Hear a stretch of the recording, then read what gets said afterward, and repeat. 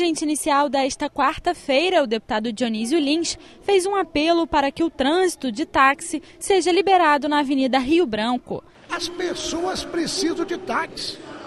Hoje, quem não quer vir de carro, pega um táxi. As pessoas querem viajar, pegam um táxi. A frota mais moderna desse país são os taxistas do Rio de Janeiro.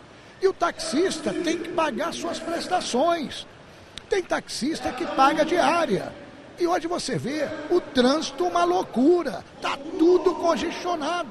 Não pode liberar só para o ônibus. Libera para o ônibus e libera para o taxista. Que nos proíba no nosso carro particular é entendimento legal.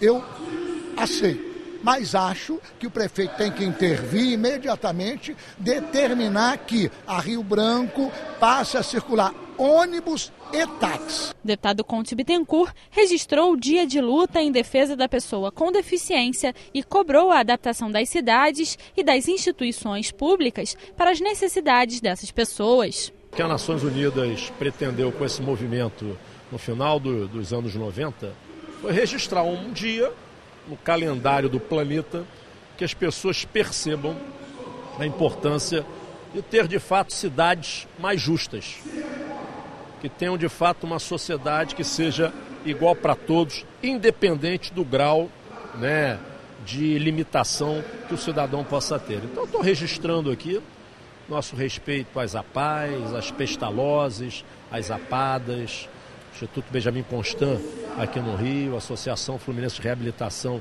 em Niterói, né, entidades que, algumas já seculares, algumas já seculares, né, se dedicam a essa causa, a defesa de fazer um mundo mais justo e cidades mais inclusivas. Foi discutida a mensagem do governo que pretende enquadrar a empresa Manlatam, que fabrica caminhões, no programa de atração de investimentos estruturantes, o Rio Investe.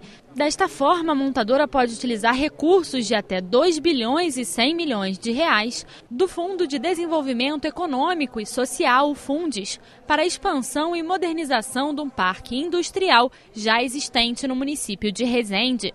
Os parlamentares incluíram emendas que beneficiam com projetos sociais os moradores da região sul fluminense no entorno do empreendimento. Outra emenda do deputado Zaqueu Teixeira amplia para 10% a reserva de vagas para profissionais em primeiro emprego. Isso é um avanço porque você permite a inserção no mercado de trabalho daquele jovem que está na busca do seu primeiro emprego, que se qualificou, mas não tem experiência.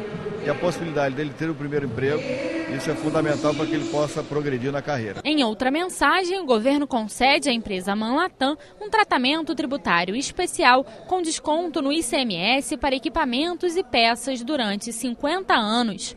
Foram incluídas emendas que tratam da perda do direito ao benefício. Outras determinam que a empresa mantenha uma creche e uma escola em tempo integral no município de Resende. Nós fizemos uma emenda beneficiando que até 20% tem que ser mão de obra local, da, da região do Sul Fluminense. As outras duas, acho que foi um, um, ganho muito grande. A inclusão de uma escola fundamental em tempo integral, que a empresa terá que implantar no município, e independente deles também já terem a creche para seus funcionários, eles terão que implantar uma creche para o atendimento da população do Sul Fluminense. Eu acho que é um avanço, e aqui quero ressaltar o entendimento do governo em absorver essas emendas no colégio de líder.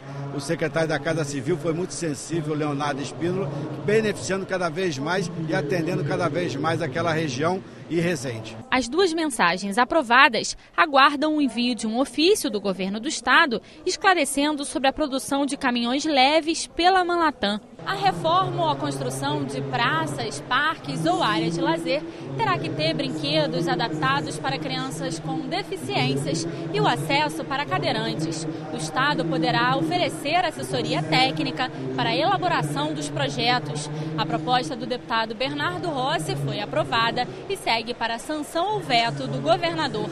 A SEDAI pode ser obrigada a inserir nas contas de água a mensagem: a água que você consome vem em grande parte da bacia do Rio Paraíba do Sul. Economize e preserve.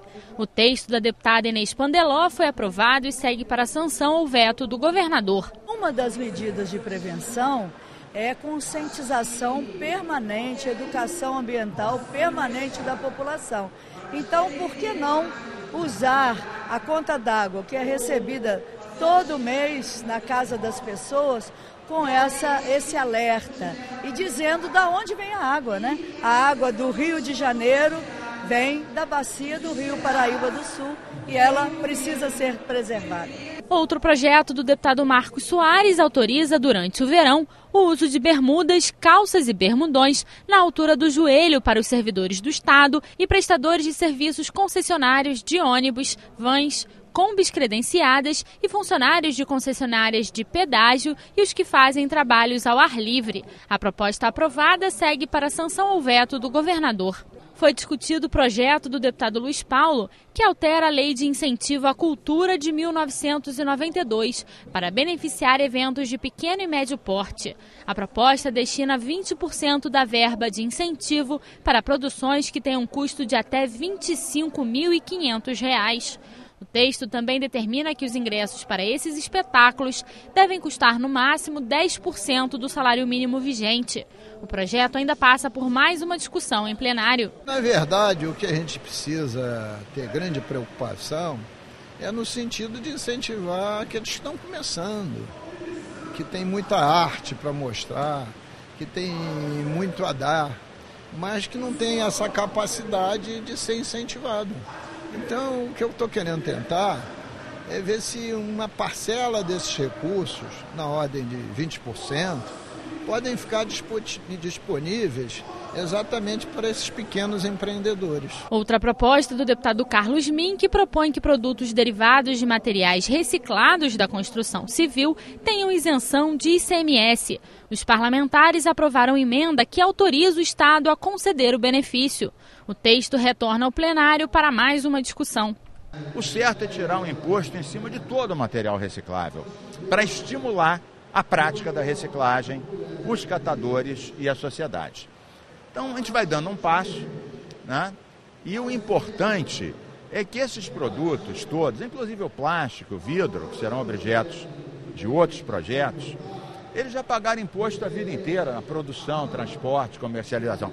Quem tira do chão vidro, plástico, entulho da construção e leva de volta para o circuito produtivo, não tinha que pagar imposto, tinha que ganhar um prêmio por causa disso. No expediente final, o deputado Tiago Pampolha pediu que a Prefeitura do Rio destine espaços para estacionamento de veículos no bairro de Padre Miguel. O prefeito é, e, o, e, o, secretário de Ordem Pública eles, eles deveriam analisar formas de disponibilizar espaço, terreno para que sejam criados estacionamentos públicos né, de forma concomitante. Leva o depósito público para multar, para rebocar os veículos que estão estacionados de forma regular, mas ao mesmo tempo leva para o bairro também a oportunidade das pessoas poderem acertar, poderem ter a opção de, de fazer a escolha correta, né, de estacionar o veículo no lugar adequado e não é, de forma muito, muito instantânea né, fazer uma, uma mudança de hábito tão repentina, prejudicando as pessoas que utilizam dos veículos, prejudicando o comércio também, porque as pessoas deixam né, de estacionar onde estava acostumada para ir na loja, para ir no mercado, para ir no, enfim, no seu comércio. Isso prejudica, cria um ciclo que prejudica todo o bairro.